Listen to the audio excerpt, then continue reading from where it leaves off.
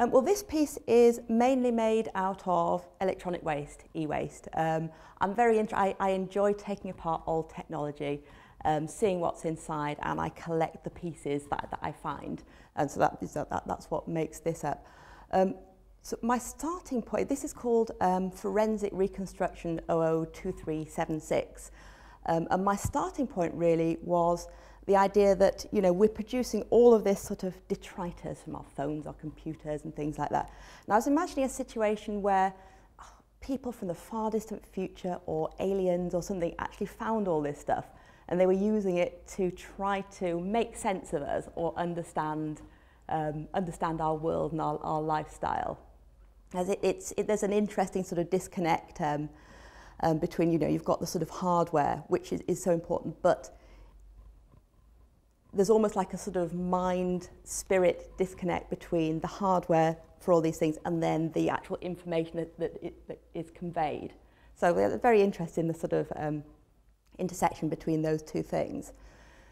So I had all of this, all this tech, um, all this e-junk, um, and I started to really put it together. But it, for me, it was like a drawing process. I, I'm, I'm very interested in drawing, um, where the sort of wires become lines and the, um, you know, it's about lines and colours and shapes and how they relate together.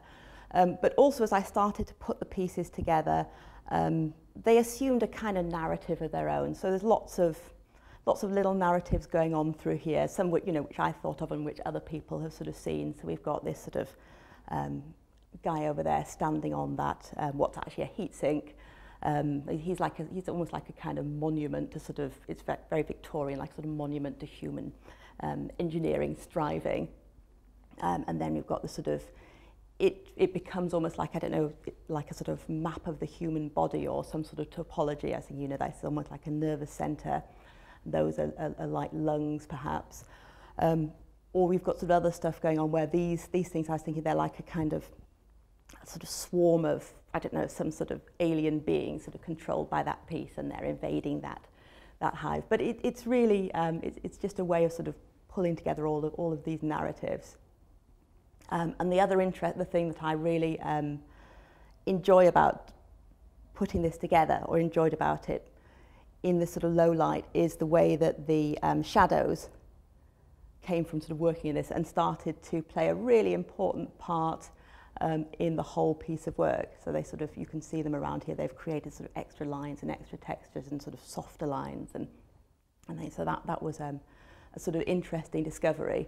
Because um, like, my process is very, um, it's in response to the environment. You know, I came along with a box of e-junk and thought, okay, let's find some tables and some plinths, and these happen to be what I found.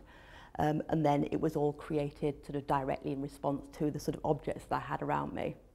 So I didn't really know how it was going to work out when I, I started doing it, which is, um, you know, it, it's quite an exciting way to work, um, a little bit unnerving, but um, it sort of leads you open to the possibilities of making all sorts of interesting discoveries while you're doing it. So in, in the end, I chose London Met, um, I guess because it was, it, it seemed uniquely, um, it offered me studio space. None of the other central London colleges I could see did that, not as a part-time MA. Um, I love the location, that seemed fun. Um, when, I, when I went along to see it for the open day, um, it just seemed like a, um, a very sort of um, supportive and um, just a fun environment, a fun place to be in. I found the, the, the tutors to be kind of very, very generous in their sort of time and attention um, and the, the environment to be, you know, to be really quite supportive. Um, yeah, so it was just a very, it, it felt like a good place to be.